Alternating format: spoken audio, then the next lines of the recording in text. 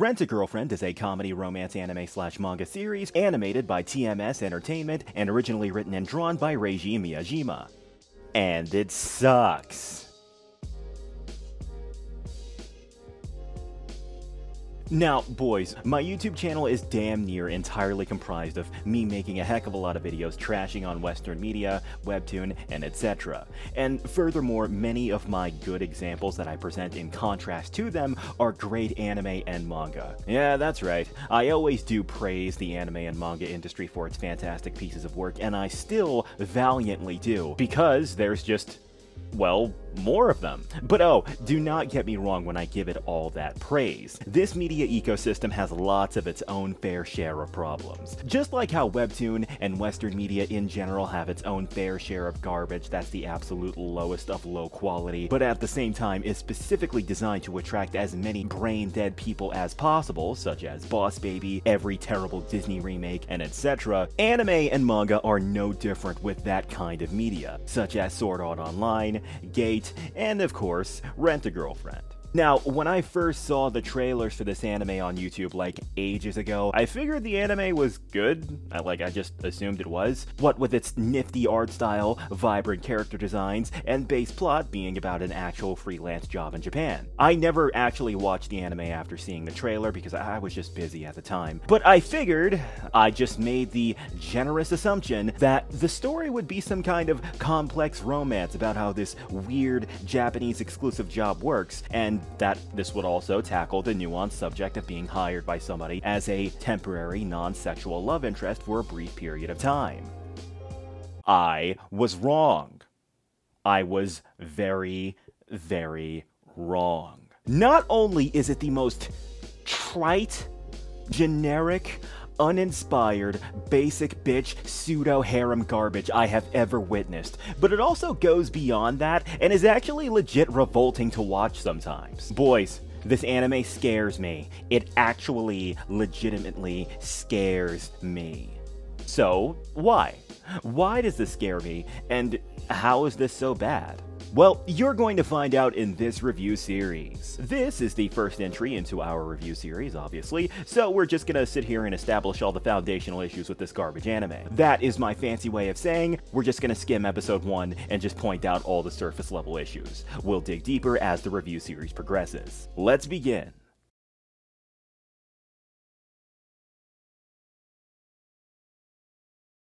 Our epic tale starts off with a fucking loser. This is Kazuya. Kazuya is a bitter loser douchebag man baby who had a basically fake relationship with a bitchy girl who quickly dumped him like yesterday's garbage because well, you know, he's an effing loser. I don't know. I could very easily continue and hammer down this point and bring up that one part where he says that he finds the thought of someone banging said ex-girlfriend to be hot. I could spend an entire five minutes ranting about how this guy is a characterless piece of trash who basically has no personality traits outside of being a sexless virginal weirdo whose only purpose in the plot is to try his best to interact with super prey girls. I, I could go even further to explain how it's somehow even more more cringe inducing in the manga, but I will do none of the sort. Not yet, anyway. So, as a result of our boy Kazuya writhing in his loserdom, he calls upon a rental girlfriend to hopefully dry his tears. And thus begins the... Uh, fateful meeting with the main girl of this garbage, Chizuru. Chizuru is the closest to a normally functioning human being there is to this entire anime. I am serious, she's the only person that acts like an actual human being, and therefore is someone you will automatically sympathize with. Y you'll see, you'll get what I mean, don't worry. Okay, so yeah, they go on their little date, and things go very quickly as in the entire scene itself in the anime is very quickly paced. And the pair hit it off really well. After the date is over, Kazuya feels a genuine sense of romantic passion as he holds hands with her on their walk across town. You know, until he realizes that this is all just a part of Chizuru's act. What Kazuya experienced is nothing more than a well-rehearsed act, because, well, you know, she's a rental girlfriend. It's literally her job to do this. But regardless of that obvious knowledge, Kazuya gets extremely triggered after falling under her evil spell. It was all just an act! Holding hands is just part of her routine? How dare she toy with my heart like that? I need to give her a piece of my mind. I. Uh, uh, what? You're mad at that girl for doing her job properly? Ugh. Okay, so boys, you know how Team 4 Star's Dragon Ball Z parody had a Krillin owned count?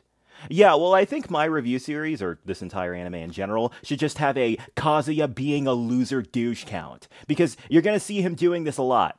Anyway, in a very petty act of revenge for performing the evil, heinous act of doing her job properly, he posts up a negative review on her dating profile and sets up a second date with her with all of the intentions of being a dick to her on purpose. Kazuya takes her to the aquarium, and despite Chizuru going out of her way to do a little bit of homework and learn distinct knowledge of fish in said aquarium in order to drum up a conversation with him, he still publicly lashes out like a man-child, shouting at her for essentially no good reason. This anime feels like it was made by an actual incel. Now, on the bright side of the situation, two things happen afterwards. 1. Chizuru does in fact chew this guy's ass out for making a jackass out of himself up until this point. And two, and way more importantly in my opinion, Kazuya is in fact aware of the fact that he is in the wrong here. The guy is in emotional turmoil as a result of the last girl he was with being a bitch, but this does not give him any excuse to be an equivocal bitch to a random stranger who has no context and doesn't need to have context into your life. Kazuya seems to be realizing this, what with audibly acknowledging his own assness in thought. And at this point in the show, if you're anything like me, you would assume that after seeing the first 10 minutes of this episode, where the MC seems to develop a lick of self awareness, that this story would be about slowly becoming a better, more mature young adult in college via the service of rental girlfriends or something like that. I don't know. That's what I thought this plot was going to be. But no, that's not what happens at all. What actually happens is that, well, anime happens. It's really, really, really effing frustrating. Just let me show you. In a moment of what feels like the plot suddenly twisting itself around to be a generic rom-com, dumbass Kazuya suddenly gets a terrifying phone call that her aunt or, or, or, grandma, uh, honestly, I forgot who even cares, is suddenly passed out in the hospital. Oh no! And so he forgets all about Chizuru and immediately makes a bum rush to the hospital, acting as if he didn't just make a jackass out of himself in public for no good reason. Chizuru, who obviously doesn't need to continue wasting her time with this idiot, decides to follow him for some reason. It, makes absolutely no sense, but hey, who cares? Logic all ceases to exist at this point in the show. Kazuya and Chizuru both go to the hospital and, and meet the, the dying aunt or whatever, and yeah, you can probably guess where this is going at this point. Oh no, the dying grandma or whatever, who really hopes Kazuya will be happy, sees the girl that he was renting out, and now that Chizuru feels bad about his ill family member, now she just has to keep playing the part of Kazuya's girlfriend. Oh no! You know what that means, guys? Now they both have to keep pretending to be together. Oh no. Man, it sure would be totally crazy, completely unexpected, and totally not cliche garbage to have Chizuru just catch feelings for him for whatever reason. Oh my god. So, so wait, what the f- the show starts off pantomiming a character growth story and then just twists itself around into being a, a basic bitch comedy romance? Like, this is so effing stupid. Okay, look, I get it. It's a Japanese cartoon. It's not gonna be that realistic, but uh, this is just effing lazy, boys. Like, just getting up and saying anime logic is no excuse for what's happening right now in this awful show. You just spent the first 10 minutes of this garbage trying to make the main dude look like a turbo douche that needs to grow up, and then you turn around and do this fan servicey bullshit courtesy of trite ass anime cliches. Obviously, so you can just establish one of those cheap unrequited love scenarios that you'd expect to see in an Adam Sandler movie. You can't just have basic stuff not make sense in your story and then turn around and say, oh, well, man, it's an anime. Just don't think too hard about it, bro. Like, that's just lazy writing, man. Uh, okay, look, let me hit the brakes for a second and bring up one of my favorite sports anime right now Blue Lock. In this anime, when the main dude, Isagi Yoichi, is in a desperate situation where he needs to win so he can stay in that weird soccer concentration camp that the anime's all about, th the show doesn't just go, oh ho ho, dude, it's anime logic, so that just means he wins. Don't think too hard about it, bro. No, that's not what happens in that show at all. What happens in Blue Lock is that the authors use their soccer knowledge to write a satisfying victory for Isagi and thusly continue the story. Because, you know, that's how writing conflicts and solutions work on a basic fundamental level. Meanwhile, Rent a Girlfriend, an anime that stems from a very real thing in Japan that could easily be fleshed out provided the author actually had knowledge into the subject, doesn't use anything smart or thought provoking to continuate the story at all. Oh, dude, it's a romantic comedy. Just turn your brain off, bro. Like, no, dude, I'm not gonna turn my brain off when I see bad effing writing that only serves to drag out this cookie cutter romantic tension. But yeah, you see that? You see how the MC seemingly begins to develop a lick of self awareness of its own toxicity, but then the plot kind of just veers all over the place just to perpetuate the non existent romantic tension that the mangaka and the showrunners think is happening right now? Yeah, let me go ahead and just drop a spoiler for you. That happens all the time.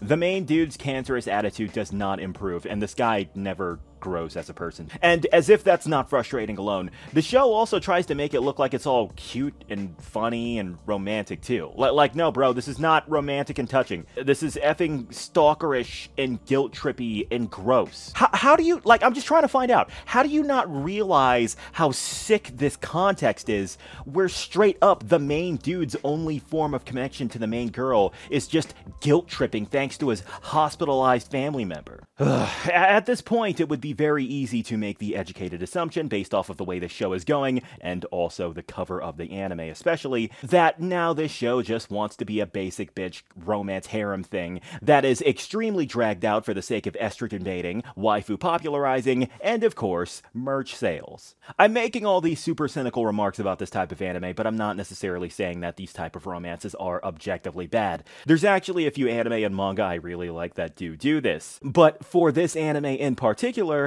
this is factually bad. Like, objectively bad. I, I mean, do I really even need to explain why? Why should anyone even care? Why should I care about these two characters having any form of actual romantic tension when it's a relation between a completely uninteresting girl forced into a bad situation and some douchebag that never grows as a person? Why should I care about the blossoming romance between this douchebag creep who's literally just guilt tripping random innocent people into his problems? Why would I want to keep watching episodes of this garbage when it's tonally whiplashing, making no sense, is cringy as hell, and is just legit revolting to watch. No wonder this anime is so aggressively hated. I, I heard the manga is somehow even worse, so get ready for that. Uh, whatever, after that stupid ass scene, dumbass Kazuya goes to college the next day, and then, once again, lazy ass writing, I mean anime logic happens. Oh, ho, ho, conveniently, he stumbled into Chizuru again at school. Oh no, what romantic tension will happen now, guys? Oh my god, aren't you excited? and yeah, whatever, that's the first episode. Okay, so, there's a lot to unpack here. This entire first episode is trying to be a typical comedy romance, right? Oh, the main guy's a loser, and the main girls are so pretty, and fate just keeps forcing them into meeting each other. Oh no. Like, that's what the show's going for, right? But, um, um, that's actually not what's happening at all. L like, boys, I've been framing this entire scenario to be that this main character's toxic, childish attitude is causing issues for this otherwise unsuspecting girl, right? But that is not the way this show itself, as in the anime's own narrative, frames this situation. In fact, if you actually saw the way this show is framing this stuff, you would think I was talking about a completely different anime, because the way that the show itself frames it is as if these two characters have some real bond that needs to be fleshed out, and you really want to see these two keep being together after seeing them both hit it off at the start of the episode. And oh, it's so cute and funny. Like, nah, bro, it's not. This is not a situation where two characters have a fateful meeting where them two coming together will be really great and fulfilling for them. This is a really gross situation where one loser nerd man-child drags an innocent person into his own personal drama. So, after covering episode 1, you know, the thing that's supposed to be the hook of the series, we have the following. We have a main character who's a loser-ass douche who drags innocent people into his own personal problems, a main girl who so far only only serves as a fan service generator and is basically being guilt tripped into being involved in the story, a plot that's about as logical as flat earth theory, and a subject matter that stems from a real life thing being handled with zero tact. And guess what? It's one of the highest selling manga there was in 2021, outperforming anything in the West at the time. This is the reason why this anime scares me.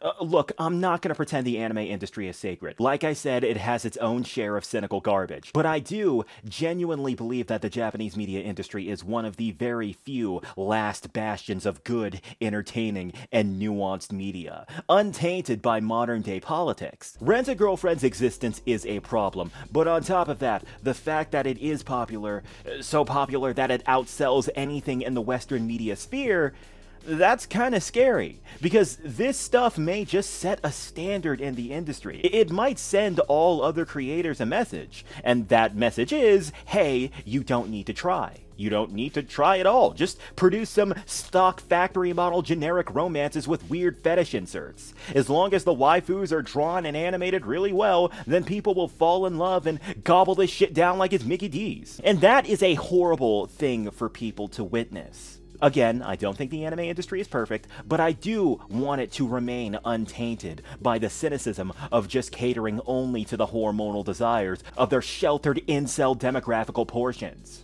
That's all I'm saying. So, stay tuned, boys. We're only just getting started. If you think that's already as bad as it is, just strap in.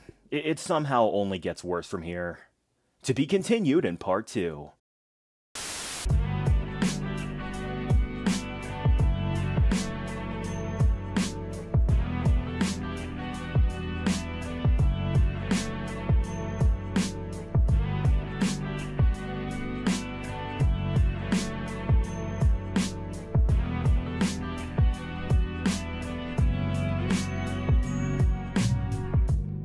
The Patreon roll call.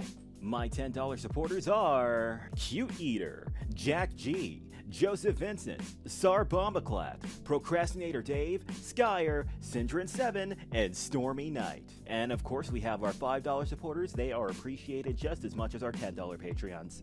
If you'd like to be in the credits of my videos as well, just catch me on patreon.com slash blacklightjack.